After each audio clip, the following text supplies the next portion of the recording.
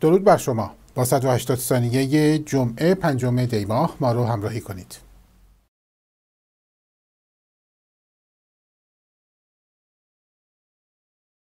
رئیس سازمان حفظ نباتات ایران در مورد تهدید حجوم ملخهای صحرایی که احتمالاً از ابتدای بهمن ماه وارد کشور می‌شوند هشدار داد. او گفت در حال حاضر دهها دسته ملخ صحرایی نابالغ در حال حرکت به سوی ایران هستند و تا چند هفته دیگر و از ابتدای بهمن ماه وارد کشور می شوند. وی افزود آبادان و چابهار بیش از مناطق دیگر در معرض خطر حجوم این ملخها قرار دارند.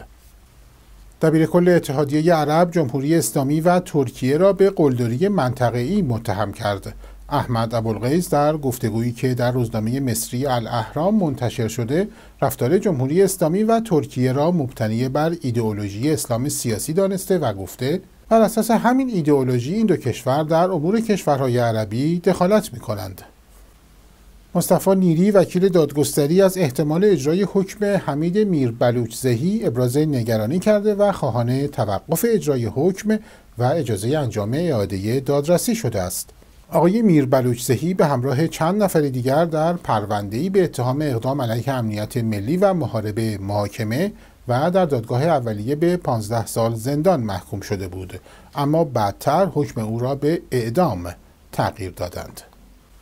ساعتی پس از آنکه خبرگزاری رسمی سوریه از دفع حمله هوایی به این کشور خبر داد یک سازمان حقوق بشری می‌گوید که در این حمله جدید دست کم شش شبه نظامی تحت حمایت جمهوری اسلامی کشته شدند خبرگزاری دولتی سوریه اعلام کرد که پدافند هوایی این کشور بامداد جمعه چند فروند موشک شلیک شده از اسرائیل را در آسمان استان حما رهگیری و منهدم کرده است.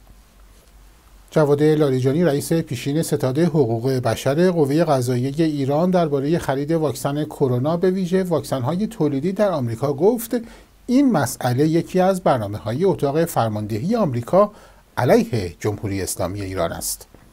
رسانه های اسرائیلی گزارش دادند که الهام علیوف رئیس جمهوری آذربایجان با هدف بهبودی روابط ترکیه و اسرائیل به یک رشته گام های عملی روی آورده است. بر اساس این گزارش ها الهام علیوف در گفتگوی تلفنی در طول هفته جاری با رجب طیب اردوغان رئیس جمهوری ترکیه پیشنهاد میانجیگری برای تنش صدایی از روابط اسرائیل و ترکیه را مطرح کرد. والا نیوز و جروزالم پست نیز نوشتند که دو دولت ترکیه و اسرائیل فعلا به این کوشش روی باز نشان دادند.